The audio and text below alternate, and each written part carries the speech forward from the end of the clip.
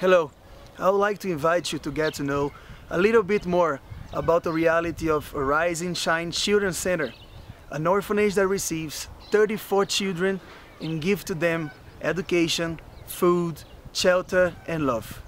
Many of them were abandoned by their parents and were living on the streets, but thanks to the effort of many people, now they have a family and a home. In spite of that, there's still a lot to be done. The boys' dormitory is in really bad conditions.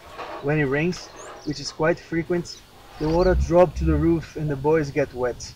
The walls have a lot of holes and during the night it gets quite cold, reason why many of them get ill. However, we decide to change this reality. First, we have a brainstorm meeting with the orphanage staff and discuss about all possible solutions.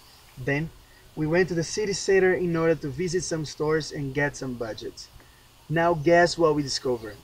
To improve significantly their quality of life, only 300 euros needed. Now I'm here to ask a contribution.